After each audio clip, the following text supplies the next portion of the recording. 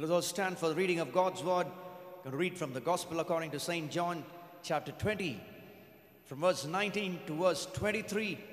This is after the crucifixion, death, burial, resurrection of Jesus Christ when he comes and meets his disciples, his apostles, as they gathered there with the doors being shut.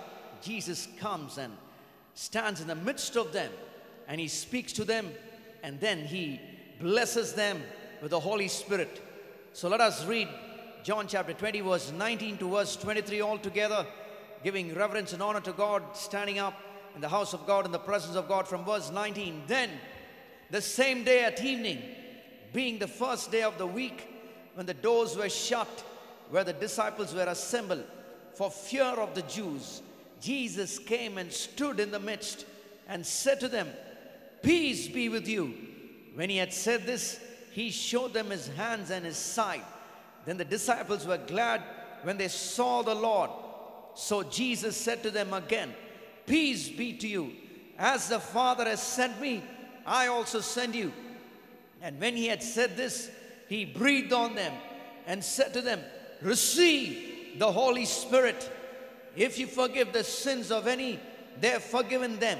If you retain the sins of any, they are retained. Thank you. may be seated. Why don't we clap hands and praise God as we look at the Word of God and thank God for His Word, for believing in it. We accept and we want to see this happen in our life. Here we see that Jesus is able to now come and fulfill the first step of the three steps of the promises and the wonderful blessings of God that the Bible reveals to us. First is the indwelling of the Spirit of God. We've been seeing how God is a spirit, and we who worship Him must worship Him in spirit and in truth. Each and every one of you are a spirit, and you need to know how to move in the Spirit and receive the Spirit of God. It is by the new birth, being born again, accepting Jesus Christ as the only Lord, God, and Savior of your life, surrendering yourself completely to Him and inviting Him. Though the disciples accepted Jesus as the Messiah, because Jesus was not yet crucified, He had not paid the price, He had not finished the sacrifice. Therefore, the Holy Spirit could not enter them because of their sins. Therefore, when Jesus rose again, having finished the work on the cross, he is now able to come and breathe on them and tell them, Receive the Holy Spirit. This is not the baptism of the Holy Spirit, this is the indwelling where the Holy Spirit of God is now able to come and dwell in the bodies, in the lives of those who accept Jesus Christ. Jesus says to them, I also send you. And for them to be sent, he knows that they first need to receive the Holy Spirit inside so that God will dwell inside of them. Jesus himself told them in John chapter 14, verse 16 and 17, and I will pray the Father, and he will give you another helper that he may abide with you forever the Spirit of truth, whom the world cannot receive, because it neither sees him nor knows him. That's why the world cannot receive the Holy Spirit, because they do not acknowledge God, nor do they know him. But to his disciples who know God, and he says, But to you who know him, for he dwells with you and will be in you. The Spirit of God leads you from all around, besides you, going ahead of you. But now, because of the death, burial, and resurrection of Jesus Christ and the finished work on the cross, the very Spirit of God, which could not dwell and was, had to be removed because of the sin of man. Now he comes and he dwells in. Romans 8:10 says, but you're not in the flesh, but in the spirit. If indeed the Spirit of God dwells in you. Now, if anyone does not have the Spirit of Christ, he is not his. This is the first step having the Spirit of God dwelling inside of you. in your walk towards heaven, in your walk towards an eternity with Jesus Christ. For it is the same Spirit that works inside of you. But this is not the end. Many would think that this is enough, this is over. There is nothing more, but Jesus commanded his disciples in Acts chapter 1, verse 4, saying, As they were assembled together, not to depart from Jerusalem, the holy city, the chosen place of God, but to wait for the promise of the Father, which he said, You've already heard from me.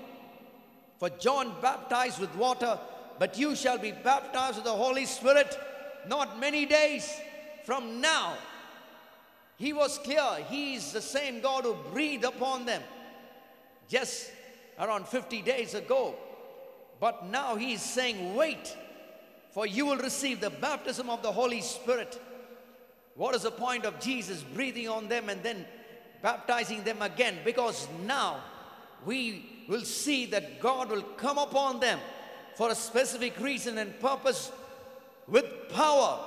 The dwelling in of the Holy Spirit, God Himself dwelling inside, is an acknowledgement that you've accepted the Lord and you are on your walk with the Lord towards eternity. But that is not enough, just having the Spirit of God inside of you. Otherwise, Jesus would have not commanded them because breaking a command is sin. If there's anyone here, I want to let you know if you have not accepted Jesus Christ, accept Him.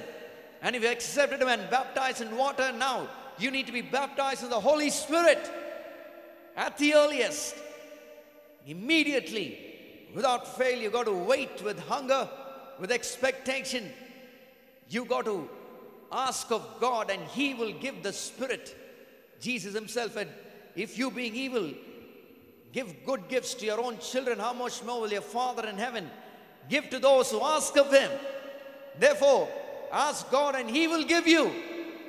To all the 120 who obeyed the voice of Jesus Christ and gathered in the upper room, and they waited for 10 days, they received the baptism of the Holy Spirit, as Jesus told them in Acts chapter 1, verse 8 You shall receive power when the Holy Spirit has come upon you.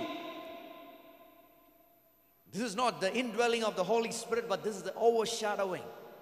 You can see how it happened in Acts chapter 2 that on the day of Pentecost, when it had fully come, and they were in one place in one accord, there were 500 that Jesus met, but 380 did not receive the baptism of the Holy Spirit. I would not be surprised if that 380 are in hell right now. They rejected the call of God, they rejected the invitation of God, they disregarded and discredited Jesus Christ's words, saying, I command you to not depart. They found something else to do. People take these things lightly and they think that they can get away with it.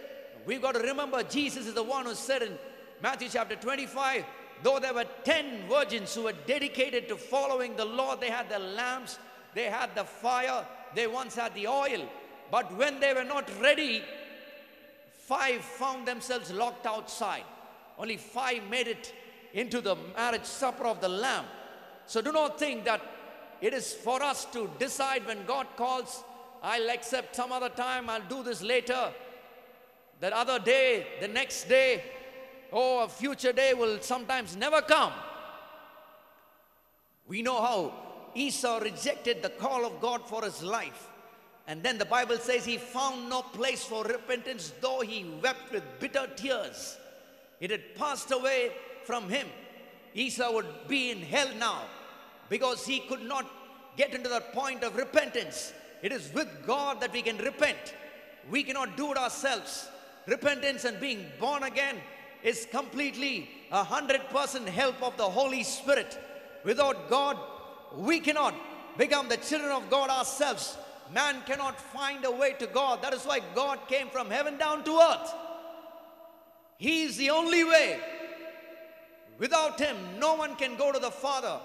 For there is no other name except the name of Jesus Christ by which men might be saved. That is how you receive the indwelling of the Holy Spirit, but that is not enough. He didn't just tell his apostles when he had the Last Supper and when he had the very first communion, He didn't call the 70 whom he had sent out to go two by two. He had hundreds and thousands of disciples. He didn't even invite his own family, his brothers or sisters, his mother. Only the chosen apostles were called to the upper room, and with them he gave of his body and of his blood, and to them he gave the Holy Communion so that they would give it to the others after he would leave the earth. But here, this overshadowing, this power of the Holy Spirit is not just for the apostles, it is for the entire church. It is for each and every one of you. Because each and every one of you need that supernatural power to live your life. That is why he wanted them to. That is why he wanted them to be safe in that environment. Do not depart, do not go. Be together till you receive the power from on high. Because you do not have the power to be able to withstand the things that the world and the devil might do to you without this power of the Holy Spirit. So, till such point, stay together in one place and you will receive. Then you will be witnesses to me after you receive. See how important it is. It is like a newborn baby who's born. You got to keep the baby safe. You can't just take the baby anywhere and in all kinds of environments. You can't travel at any time. You can't do many things. You got to keep the baby in a protected fashion and manner as they grow, as they get stronger and stronger, the more you can expose them, the more you can send them out, more they'll be able to withstand things. Till then, the parents protect the baby and keep the baby safe in a very germ-free environment, in an environment where the baby can be nurtured and taken care of in the same way. God is telling them now you have the indwelling of the Holy Spirit, but still, though I trained you, Though Jesus trained them directly, three and a half years, 24 hours, all through the week, wherever they moved, they moved with him. Wherever he lived, they lived with him. They weren't going back to their home. With such training, still, he commanded them to receive first the Holy Spirit and then they can go and be witnesses and live a supernatural, powerful life as an example but on the day of Pentecost, the Holy Spirit was not come to dwell inside of them because he was already dwelling inside of them because Jesus already breathed. But now he came and sat upon each and every one of them, and they were all filled with the Holy Spirit, and they began to speak with other tongues. As the Holy Spirit gave them utterance. Just like how when God's plan for the life of Mary had to be fulfilled, God sent the angel Gabriel and he came with a message saying what will happen to her? In Luke chapter 1, verse 35, where the angel answered and said to her, The Holy Spirit will come upon you, not inside of you, but upon you. And the power of the highest will overshadow you. Therefore, also that Holy One who is to be born will be called the Son of God. You have to move first from the indwelling to the overshadowing, where you receive the power of God. That is the glory of God. Just like how those flames of fire came and sat upon each and every one of them. You'd have seen in certain paintings that have been done for last few centuries how when they paint the saints, they put a halo, a circular ring like a crown. It is like that. It is God giving you that glory, giving that sign that you've now received. It is the cloud that came and rested upon the tabernacle in the Old Testament. It is that pillar of fire that stood there between heaven and earth as the children of Israel were there in the wilderness leading them through the night it is the glory of God upon those who are baptized in the Holy Spirit to equip them, to give them the power. You need that power. Tell the person sitting next to you, you need that power. Without that power, you will not have breakthroughs in your life. You will not be able to fulfill the plan of God. Without the overshadowing and the Holy Spirit of God coming and resting upon Mary, she would have not been able to fulfill God's call for her life. Jesus Christ would have not been born.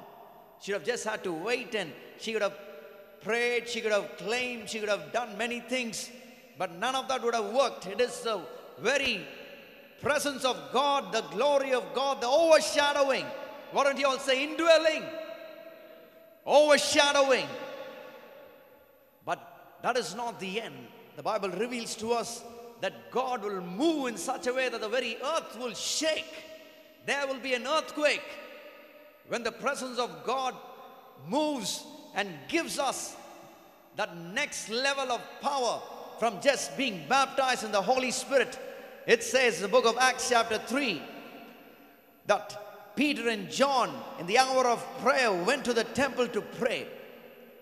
And they found a lame man from his mother's womb who had been carried there. And he had not walked, but they had placed him at the gate of the temple and looking at Peter and John, thinking that he might receive something money. But they said, fixing their eyes upon him, Look at us. And as he gave his attention to them, they said, Silver and gold I do not have, but what I do have, I give you. In the name of Jesus Christ of Nazareth, rise up and walk. And he took him by the right hand and lifted him up. And immediately his feet and ankle bones received strength. So he, leaping up, stood and walked and entered the temple with them, walking, leaping, and praising God. When this mighty miracle took place, the people gathered there around them, looking at this lame man whom they could identify and recognize.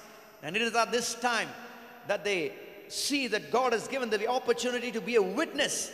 So, when Peter saw it, he responded to the people, saying, Men of Israel, why do you marvel at this? Or why do you look so intently at us? As though by our own power or godliness we have made this man walk. The God of Abraham, Isaac, and Jacob, the God of our fathers, glorified his servant Jesus, whom you delivered up and denied in the presence of Pilate when he was determined to let him go.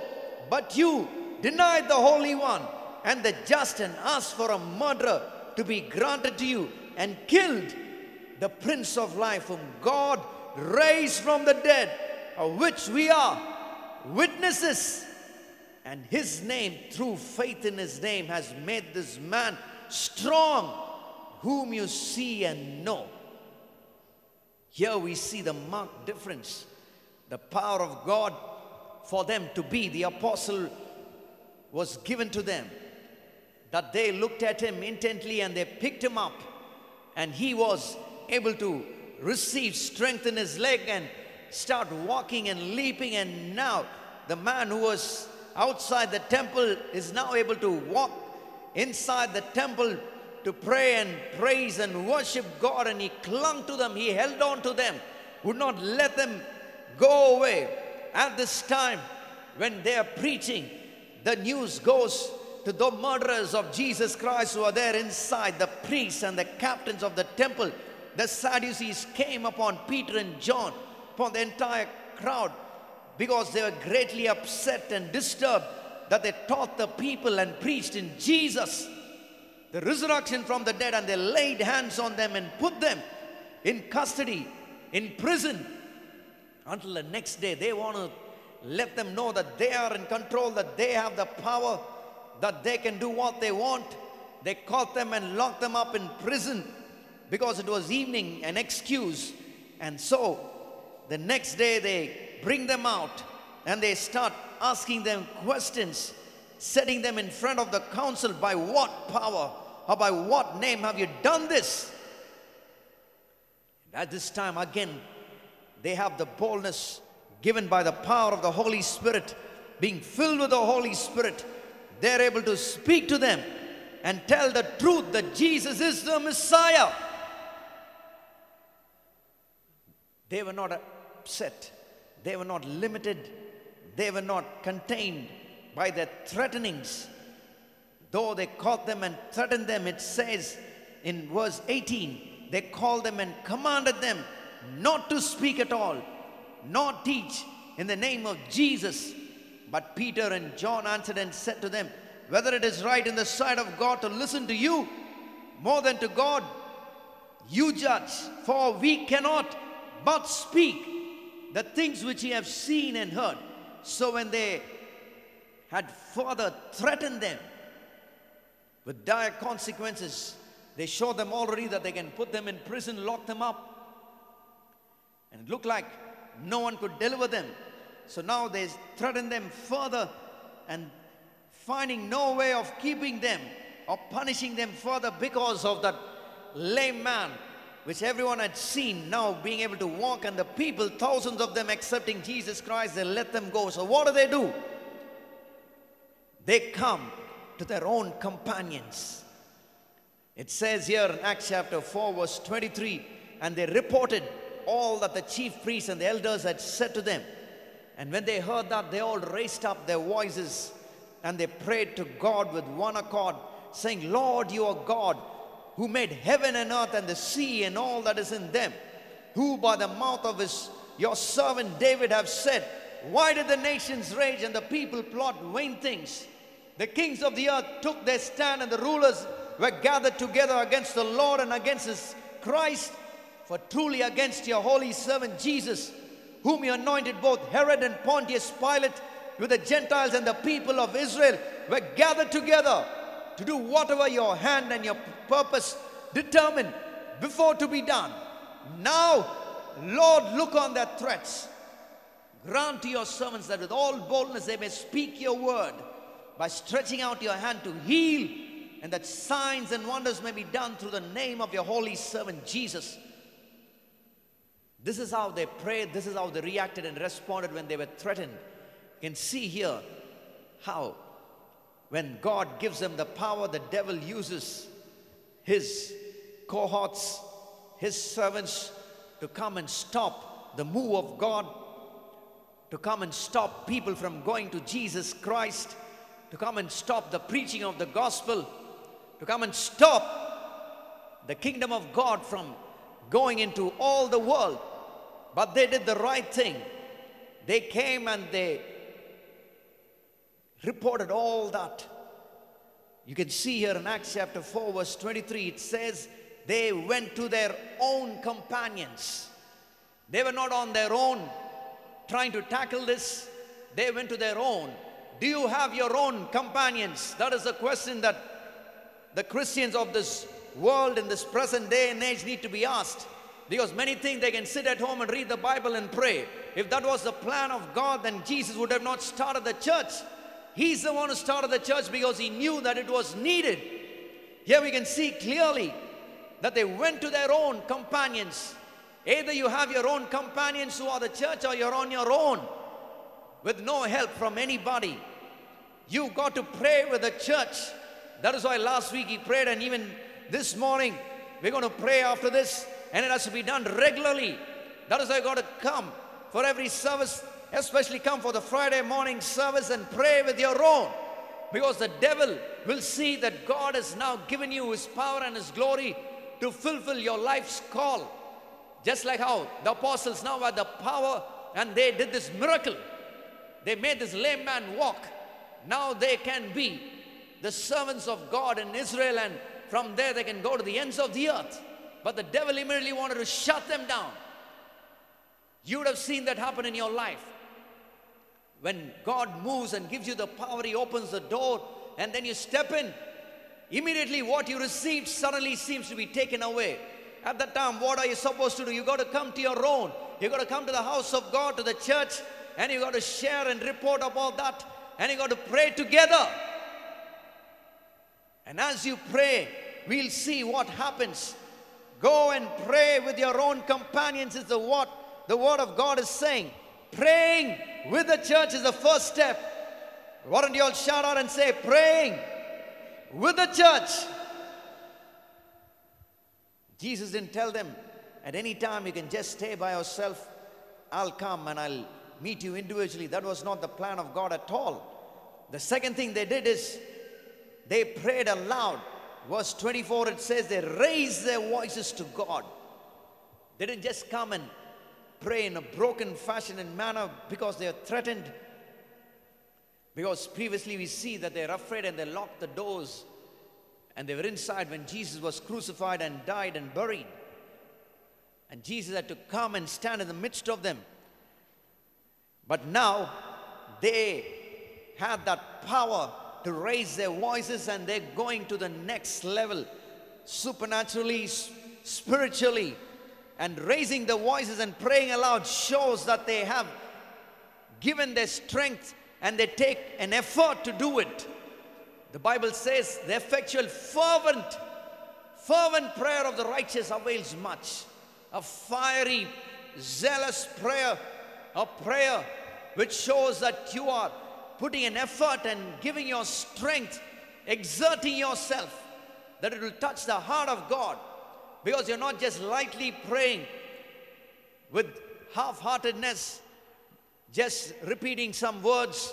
You are putting your all into it. They raised their voices to God. It shows that they were not weak in their prayer, but they were strong. When the enemy comes in, you got to raise your voice. That will break the oppression. That is the very first step. Coming to the church, then praying aloud. Even this morning, do your best to pray as loud as you can. Amen. The third thing that we can see is they prayed with unity. It says, when they heard this, verse 24, they raised, they raised their voice to God with one accord, all together one accord and said. It was not just one person praying, they prayed together. This morning, we'll also start our prayer, praying the same prayer for this nation, for the nations of the world, with one voice and one accord. See how marvelous it is. They got together and they all said, Lord, you are God who made heaven and earth, the sea, and all that is in them. They prayed it together. It was not just one person praying, the others just sitting down. Everyone got together, everyone raised their voices. That is why, though one person is praying after the first corporate prayer that you're going to do, you got to join along. You got to say amen. You got to be completely connected to that person as they're praying. You got to listen. That is why I pray point by point so the others will be able to follow. Take one point. If the person finishes one, you go to the second. So the others will be able to follow and they'll be able to look at that. Do not just go here and there and then confuse everybody. Then they'll be wondering what you're praying for. You got to pray together as one body in one accord. First is praying with the church. Second is what did we say? Praying aloud. Third is praying with unity. And the fourth is praying based on the word of God. They quoted the word of God. Acts chapter 4 verse 25 says, by your mouth of your holy servant David, you said. And they're quoting the exact scripture at that time. When we pray on the word, then our prayers will be answered. You got to pray, ask God based on what is written on the Bible. Man likes to have his own religion. He wants to do whatever he wants to do. He wants to have his own customs, his own traditions. It's nice to do certain things sit up and stand up and go here and there and do this and that. But if it is not based on the Word of God, then how can we expect God to answer? He has revealed it all, what He will do. We've got to search the scriptures and find a basis for our request. Many people do not know what to ask for. You got to ask according to what the word says. Then your prayer will not be in vain. Your prayers will be answered when you pray on the word. When people come and ask, pray for this, pray for that, when we realize it is not based on the word, then that prayer is not going to have any effect. But they might put pressure saying, no, no, you got to pray. If you say you don't pray, then they'll get upset with you. But Jesus never went out of the plan of God. He was exactly in the will and plan of God at all times. He would not even go into that village in Samaria because first salvation is of the Jews. Then after, when he saw the door open is when things took place. He even told his disciples, do not go into the villages of Samaria, but go to the lost children of Israel first. The Syrophoenician woman came and cried. He said, I cannot cast the children's bread to the dogs. It is meant for the children. He would not even go and speak to her or pray for her. But she persisted. You got to know that based on God's word is how you got to pray, and then your prayers will definitely be answered. And all these points that we pray for is based, each and every one of them, on the word of God. But you got to make that a habit, and that's how you got to pray. The fifth thing is you got to pray for God's plan. Verse 28 it says to do whatever your hand and your purpose determined before to be done. God has got a plan for your life. He's created with you with a purpose. He's got a plan for His church here for us, and He's got a purpose for us here. We've got to pray that God's plan will be fulfilled.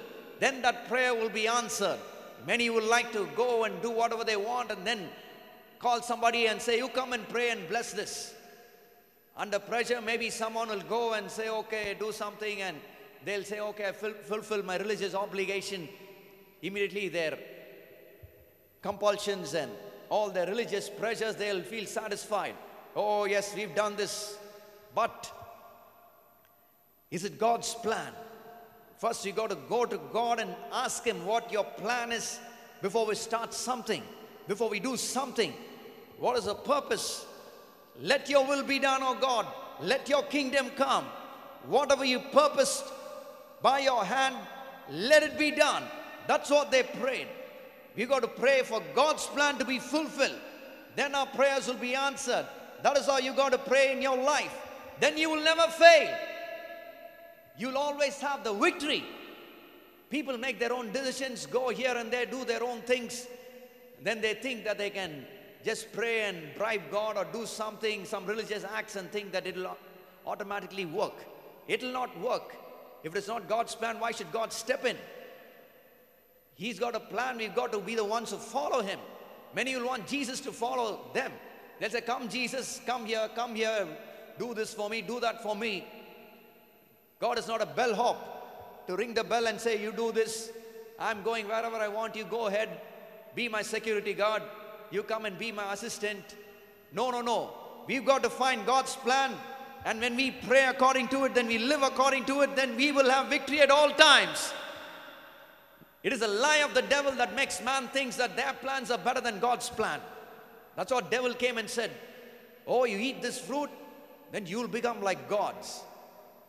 And they believe that lie, thinking that God has got some bad plan for them. They've got some great plan and they join with the devil. I want to tell you and remind you once again that God's plans are the best plans for your life. You'll have joy, you'll have peace, and His prosperity, His abundance will not have any added sorrow to it. You will be able to enjoy the blessings of God. You'll be able to sleep peacefully because God will take care of everything for you. He does more than what you can do. As you're sleeping, He'll be working. You take one step, He will do many things for you. Live for Him, and He will make things fall in place. He will do amazing things in your life. They did not just pray for the plan of God, they prayed for the preaching. That is what we need to pray as a church. Every Christian has to pray.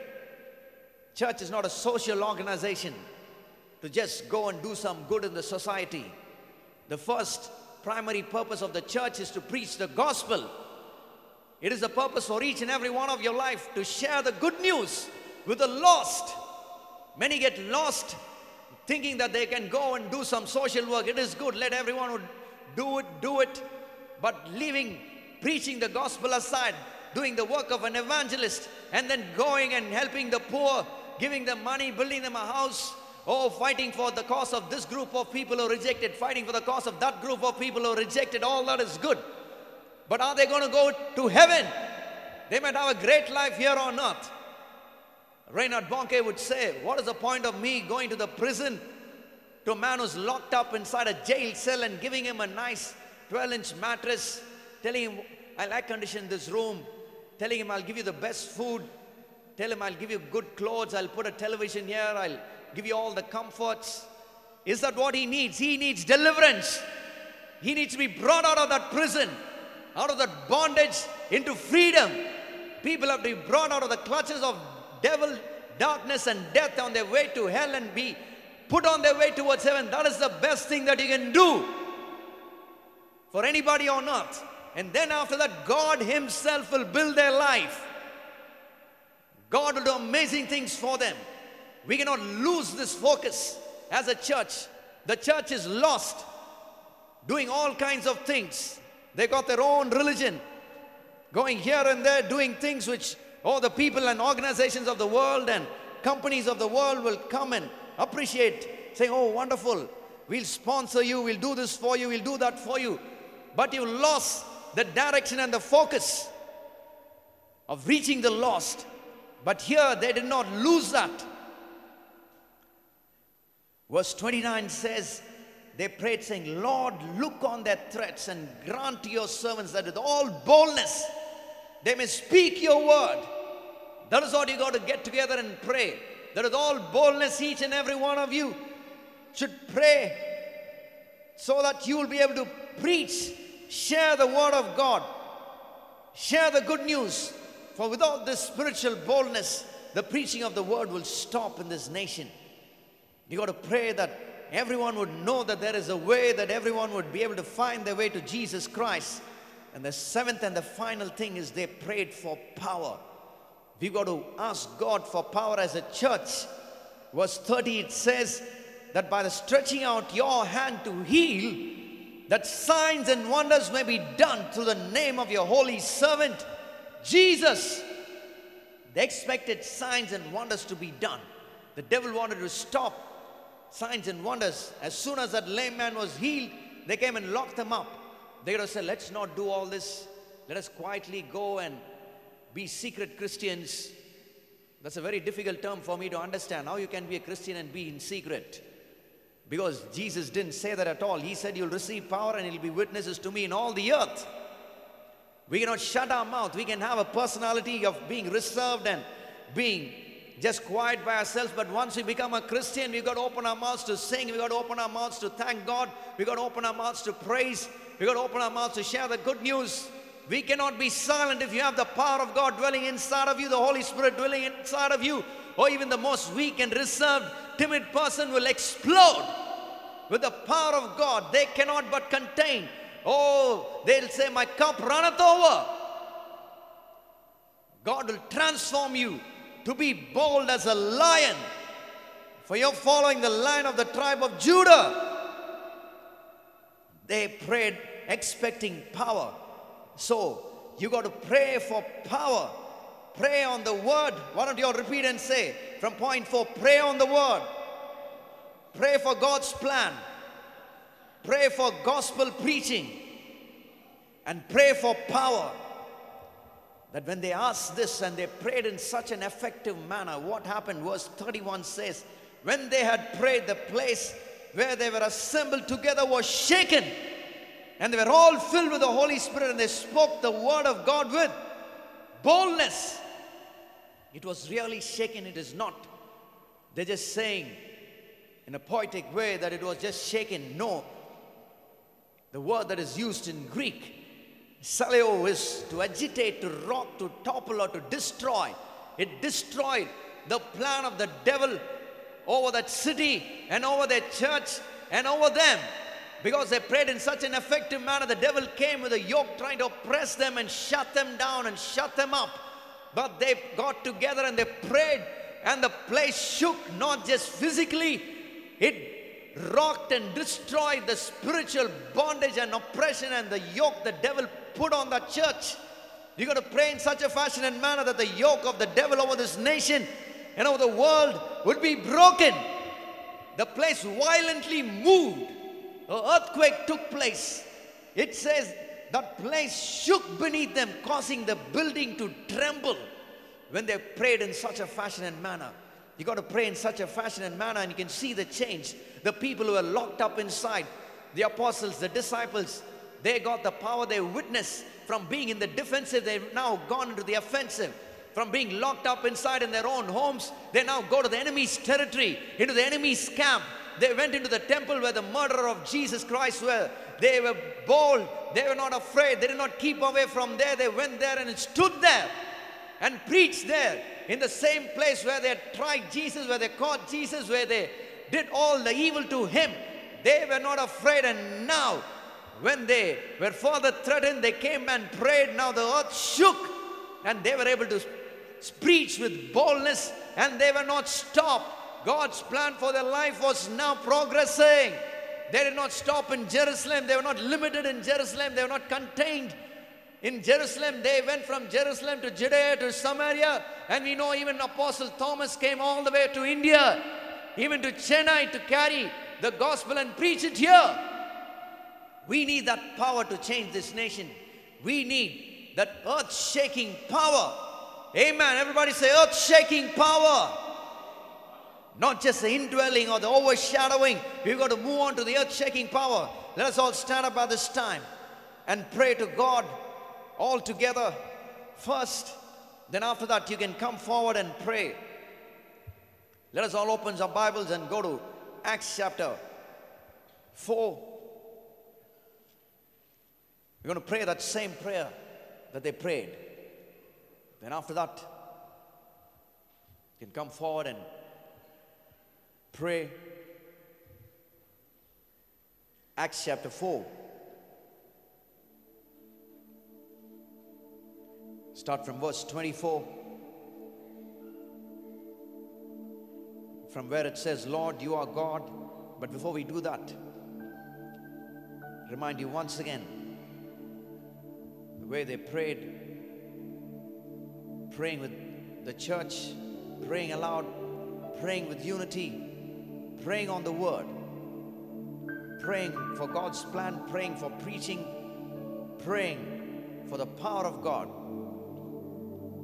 Therefore, all together, Acts chapter 4, verse 24. Lord, you are God. Once again, let's all try it. Acts chapter 4, verse 24. With all your strength, just as how they prayed, expecting this place to be shaken, with your all strength, shout out aloud and say, Lord, you can do better than that. Once again, say, Lord, you are God who made heaven and earth and the sea and all that is in them, who by mouth of your servant David have said, Why do the nations rage and the people plot vain things? The kings of the earth took their stand, and the rulers were gathered together against the Lord and against his Christ.